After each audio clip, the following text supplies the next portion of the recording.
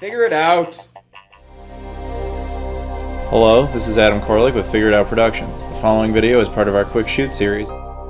Hey guys, it's Adam here, and uh, today I'm going to be doing a hardware review, sort of, on the Nyko Power Station for the Xbox One. That would be this thing right here.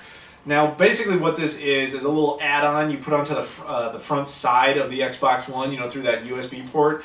Uh, and you put it in there, and it basically is a charging station for two battery packs uh, for the Xbox One controller. Now, herp derp, the Xbox One controller needs batteries to work. Uh, you can use simple like uh, AA batteries, or Microsoft actually has this thing called the plug-in charge kit, where you buy that and it's a rechargeable battery pack, and it gets plugged in through a USB cord, and that's how it recharges. That's the idea. This is the same thing, except it's a docking station where it uh, can charge two batteries at any uh, given time, and then you can take those out and plug it into your controller. Um, but of course, it's got the immediate bonus of being aesthetically pleasing. It looks like it's an add-on to the console, because it basically is. Um, so yeah, I thought that was kind of cool. Nyko makes a lot of stuff like that, um, but the truth is, I think a lot of their stuff is neat conceptually, but it's ultimately kind of pointless uh, and not necessarily always the best product. So I, I, don't typically buy much of their stuff. But in this case, um, a lot of people were saying this was pretty good, that the batteries were actually better than Microsoft's batteries in the sense that they lasted longer and they charge faster. So we will see if that is true. Um, yeah, so that, that was kind of what caught my eye to it. So I did a little more research on it and uh, it retails for about uh, $30 US, sometimes up to 40 depending on where you go. I found this at a Toys R Us in uh, Canada um, during my trip up there uh, for $30 Canadian. So with the exchange rate into USD, that's only about 20 bucks. So I thought, okay, I'm probably not going to get a better deal than that. I will, you know, pick it up and I'll basically make a video for you guys. Uh, plus, I use a, a plug-in charge kit for the Xbox One, so if I could replace that with this, that would actually be kind of nice. Um, so yeah, that's basically why I got it. So this thing had clearly been sitting in that Toys R Us for a long time though, because there's dust all over the box. But uh, we'll see. Uh, I'm gonna open it up now and uh, we'll start taking a look at it. So it's got this little flap here on the side, and then it's got some um, tape here and over here. There we go. Lift that up. And inside we have the device. We have manual, which you probably won't need, but uh, we'll take it out here. And uh, that's the batteries, I assume. There is the device itself. Now, as you can see, it's uh, aesthetically pleasing. I think it wins immediate bonus points on that. You, like I said, you just kind of plug it into the side. It's meant to look like it's a, uh, an add-on to the console once it's in there, and I'll show you that in a little bit. But uh, it has this button here that allows it to pop up like that. And then there's two slots in there for batteries, which are contained in here. Uh, and yeah, you take those out. And yeah, two battery packs, which is cool. And then you just plug them in there, you know, I guess like that, or the other way around. I'll, I'm not even looking at it, but you you get the idea. I'll figure that out in a bit. But uh, yeah, that's cool. It's got a lock in the back, so once you plugged it into place, you just push this lock and it, you know, clenches it in there so that it, uh, it's more firm. It has ventilation through the sides so that the, uh, the, the, system's airflow out can continue to work, which is cool. Uh, it's very, very nice uh, aesthetically. So we will see if it lives up to that though. Uh, one obvious negative to this thing without even having used it is that it requires that USB port permanently. Like that becomes your dedicated USB port. So you still have the two on the back and you'll have to do any other USB things through there which is a little bit of an annoyance, but it is what it is. The other thing, of course, is that if they ever update the Xbox One to like a slim model, it's very unlikely that this thing will work on there just because it won't fit the shape anymore. I mean, yeah, you could use like a USB extension cord and connect it. It's not like it wouldn't still function as a charging station. It would just lose the uh, aesthetic appeal. But uh, yeah, that's the idea. So at this point, what I'm going to do is I'm going to go set it up and I'm going to start charging these batteries. And uh, over the course of about, a, I think like a week, I'm going to use them and see how they are, and then I'll get back to you. So it's been about a week, and it's time for final thoughts on this thing. Uh, there's some positives and there's some negatives. So let's start with the positives. First, I think it's very aesthetically pleasing. Obviously, that's open to interpretation, but I like it because I like the way it looks like a logical extension of the console. It really just kind of fits right in. Uh, of course, it supports two batteries at the same time, so if you're only playing with one controller, it's you'll never really run out of power as long as you just kind of keep uh, swapping them out. When you're not actually charging them, you can rotate them over and pop them in like that, and that way they aren't perpetually in uh, draining energy. Um, one cool thing about it is that it will work when the console is, in, is uh, in instant on mode. Um, so for example, you don't actually have to have the console on and running and seeing the dashboard for this thing to work. If you have it in that same mode where uh, it'll download updates and uh, go immediately to the dashboard as opposed to completely turning it off, you know what I'm talking about? If that's the case, this will charge, which is nice. Um, now, the batteries themselves uh, actually have a pretty long lifespan. Uh, I, I, never had any issues with the controller ever dying on me or anything like that. Uh, and I used it for quite a while, so I was, I was pretty happy with uh, that turnout. Um, unfortunately, that's kind of where the positives end. Um, the rest of it is, okay.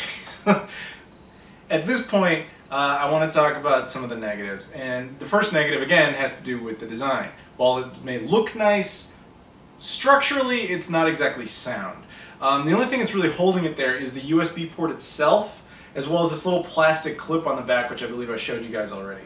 Now that stabilizes it a little bit, but really it's, it's not held on there all that well. Um, it would certainly be very unwise to like turn it up on the side because very likely the thing would just fall off. Uh, if you're going to grab the console, you're still going to want to put your the weight underneath the console itself, not under this thing, because it's very likely it'll pop off. At least that's how it seemed to be for me. Uh, now that's not that big of a deal because most people don't move their consoles around a lot. As long as you keep the console stable, it's whatever. Uh, so, but that is certainly worth noting. Uh, because obviously the Xbox One wasn't designed to have any kind of add-ons for it, uh, so it makes sense that it wouldn't really have a good place to kind of clasp into. Uh, but uh, some other negatives here. The this one might just be unique to me or something. I don't know how to even explain this one, but it collects a lot of dust. And okay, so if you have an Xbox One, you already probably know this. The matte finish part right here tends to just be a dust magnet, regardless of how much you use it. It doesn't. It's not a. I'm not saying like, oh, I never played the Xbox One. It's a dust magnet. No, I'm saying even if you use it a lot. In fact, generally when you use it a lot, this happens even more. You get a lot of dust all over it. That's normal. This looks like the same material, so I assumed it would logically follow that the same amount of dust would be there. But I don't even know how to explain this. It like collects its own set of dust and then never goes past like this plastic border. I'll show you what I'm talking about. Take a look at this. You see that? See the way that looks? I can't explain that. um, and it's it, you might be thinking, oh, dude, gross. Don't you like clean your house? What, what's up with that? Yeah, man, the footage you're seeing, I cleaned that whole thing like an hour and a half before it started to look like that. That just happens, and I don't know why. If I had to guess, I'd say it's because the vent in there is pushing dust out this way, it's pushing air out, and it of course comes through this thing. I'm thinking that it must kick itself back up and land here, but I just, I don't understand how it could be so definitive on that border somebody out there might have an explanation for that, but it's not me, so I don't know. I don't know what to tell you. Now, it only really did that when the console was on. When the console was off, it didn't do that. So that suggests that it has something to do with the ventilation, but I don't. I don't. I don't entirely know. Uh, so, okay, another negative has to do with the charging. This is kind of the the big final point here. When you this is a neat feature, and but at the same time almost perhaps useless because mine didn't seem to work properly. When you plug the console in, uh, or have it in instant on mode, whatever, point is when it's charging, there will be two little lights that pop up in the center uh, on this thing, which is really cool because then you can see that it is in fact charging. Uh, and as it charges, uh, there will be additional indicators to state, oh, it's at 25%, and then it'll fill up to 50%, and then over to 75%, and ultimately to 100% uh, and then you know you're good to go. So what I decided to do is, in that after that first clip you guys saw at the beginning of this video, I went ahead and set this thing up and I decided to time how long it would take to fully charge the battery. Which, side note, when you get new batteries you should always fully charge them. Uh, that way you ensure that they have a longer lifespan. If you just charge it for like 10-20 minutes just to use it real quick and then say, okay, I'll charge the rest when I go to bed, the battery ultimately won't live nearly as long, just FYI. So I was like, okay, I'll set it up and I'll time to see how long that takes. So I set it up at 6 p.m. Uh, that day. And I've assumed that it would be done by the time I was ready to go to bed, perhaps even earlier. Uh, so the whole evening goes by and I go to check on it and it hasn't done anything. It hasn't even reached 25% yet. And I was like, what the hell?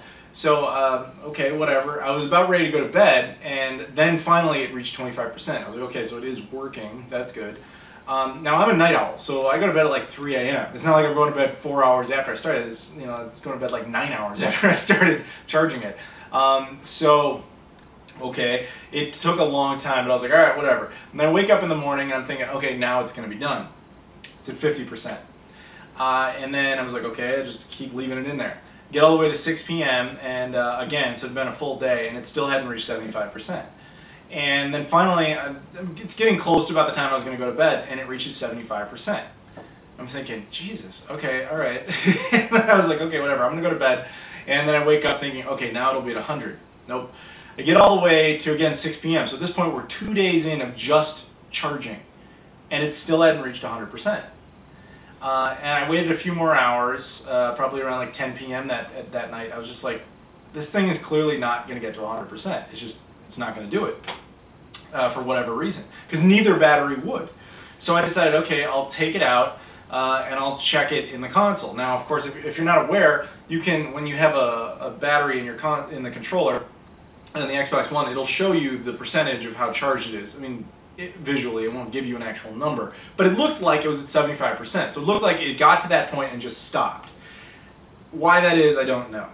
But uh, I thought, okay, well, here's what I can do. The, you can charge it in the you can charge those batteries in the controller with just the USB cable. So I was doing that, and I thought, okay, great, this will this will solve it, per, perhaps. At least I'll narrow down what the problem is. Nope, it never ever went up. It just stayed at 75%. So my point here is that the things don't seem to actually get beyond 75%. And I don't understand that because I've seen other people's videos and other people's reviews that didn't have this issue. This might just be unique to me, but I'm just telling you what I found, which was that I couldn't get them to go past 75%. That said, they lasted a really long time. Like a really long time. I did not have any issues with these things ever running out of power. So win some, lose some. So ultimately my final thoughts on this thing are don't pay the 30 bucks that they're asking for it. It's simply not worth it. I pay the equivalent of about $20 US because of the exchange rate, and I kind of regret it. If I had paid $10, I'd have been much happier.